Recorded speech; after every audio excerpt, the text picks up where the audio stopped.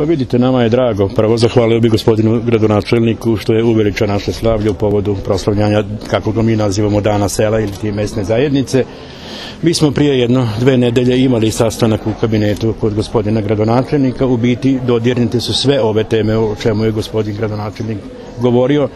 Naša goruća tema je trenutno ovdje preko, preko puta, to je ovaj naš dom kulture. Nažalost, jedna smo od redkih mesnih zajednica u na nivou grada Subotice, mislim da smo među četiri mesne zajednice koje nemaju vodovod. Tu su neki projekti odrađeni, ali kao i u celoj državi svugde problem su financije. Kao ja sam sad trenutno u dve nedelje, dve do tri nedelje na ovoj funkciji, tako da relativno sam početnik, kao i što kaže i gradonačelnik, tako da, ali saradnja vidim da planovi su nam isti, gledat ćemo da se usaglašavamo i mi ćemo ustrojiti naše potrebe sa mogućnostima, tako da. Domovi kulture su nekada bili centralno mesto u selu, tako gde se Jeste. sve održava, od igranki do svega ostalog. Da li se da sada nešto koristi dom i Pa vidite, da se koristi? vidite nama, je, nama je dom jedan od prioriteta, mogu vam reći. Znate, mi ovdje imamo puno udruženja velike aktivnosti, to su i na ta udruženja smo izuzetno ponosni. Imamo dva kulturno-umetnička društva. Tu je obeležavanje dana sela. Stvarno manifestacija ima, tu je festival voća, tu je pasulijada što kaže, tu, je, tu su gubčeve što kaže prezentacije. Stvarno ima, imamo puno manifestacija, tako da bi nam Dom kulture izuzetno dobro došao. Pa i, i ova manifestacija dana sela u krajnjem slučaju, i tamo bi se održavala. Koliko već dugo Dom kulture nije?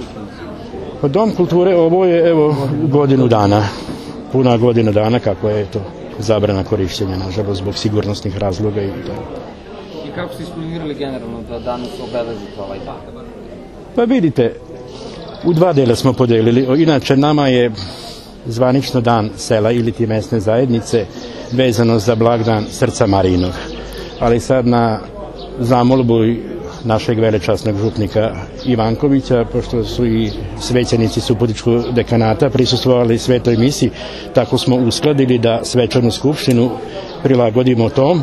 Znači danas sveta misa, svečana skupština, svečani ručak, a sutra od 18 sati ili 18 časova u našem parku će biti jedan prigodan, skroman kulturno-umetnički program na kojeg su svi ljudi dobre volje pozvani.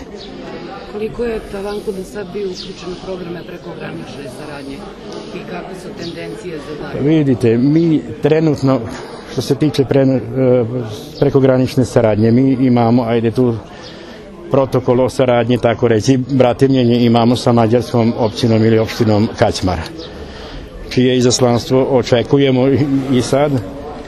Tu sad postoje pokušaj da se uspostavi i veza na nivou lokalnih samouprava sa općinom Velika iz Republike Hrvatske. Tu postoji veza na nivou kulturno-umjetničkih društava, ali volili bismo što kaže proširiti tu i na što kaže na lokalnu samoupravu. Pa sad da vidimo da li uz pomoć, što kaže ipak su oni članice Evropske unije, neki projekti ili da nam pomognu u pisanju nekih projekata što bi nam puno značilo. Hvala vam.